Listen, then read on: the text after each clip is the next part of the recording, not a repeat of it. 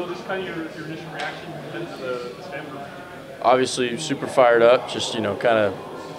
I think for all of us, I can speak for our whole team. Just give us a time and place, and uh, you know we'll be ready to rock. I think we're really starting to play our best baseball, and uh, we couldn't be more excited. Um, heading out west, uh, I don't know if you're surprised at all, but just the, the fact that you guys going to California, going all the way out west, and you know, playing for the regional. I mean, I guess I'd, I'd say I'm surprised just because it's somewhere different. You know, it's, it's far away. I've never been I've never been to Stanford, so uh, yeah, I guess surprised in that sense, but uh, just super excited, really. With, with what the uh, pitching staff was able to do during uh, the SEC tournament, how much do you feel like that is y'all peaking at the right time and carrying over, or, or, or what do you think about the pitching staff's momentum moving into the? I think we're building a lot of momentum. I think we're starting to play our best baseball um, as a team as well as a pitching staff. Uh, I think we're really starting to do a good job on that side of things. Um, whereas we hadn't, you know, I don't think we were doing our best job on, on the front half of the season, as you guys know. So I think we are peaking at the right time. Really excited about it. What difference did you guys see in the pitching staff? I, I, like, did anything change? Anything click for you guys that maybe? Yeah, it's just contagious. You know, Troy went out and set the tone, and I thought that, you know, he did a phenomenal job uh, at Mississippi State, and he carried that straight over into, into his start at, against Tennessee, and you know, it was contagious. You saw what Justin was able to do, and then uh, you know, I'm not going to let those guys one up me. So you know, it just really, I, th- I think Troy really set the tone.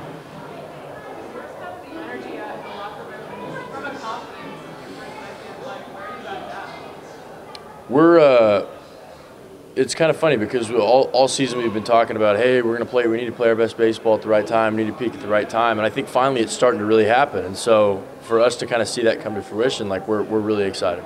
Vibes are, vibes are up for sure. How do you think the experience from last year and all that you guys went through, going so deep in the College World Series, how, how will that help you guys this time around? What lessons did y'all take from that? I think it's helped us all year long just knowing that having seen it before and, and knowing we can go that far, it's, it's kind of a confidence thing saying, okay, look, we know, we know what we're capable of doing. So um, for me, that, that carries a lot of confidence. I know it does a lot of the other older guys. So um, we're definitely going to, you know, this, this isn't our first rodeo for a lot of these older, older guys, so we're going to go attack it. To that end, did it help even more so that last year, even last year, it wasn't easy at times for you guys, and for you guys to still, know, obviously be able to.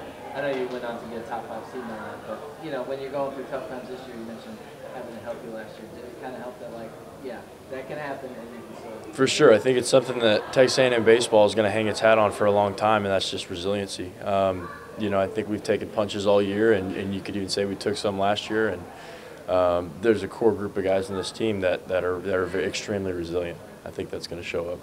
Traveling as far as y'all are and being a, a two or two seed, is, uh, you confident in y'all's ability to kind of create your own energy, be uh, be big in a hostile crowd where you might not have as many uh, home fans there? Oh, I uh, I don't have any doubt in uh, our ability to be excited or bring bring the energy up there. Uh, you know, it's postseason baseball, so we'll definitely be excited. Anything else, Will? Good. Thank you.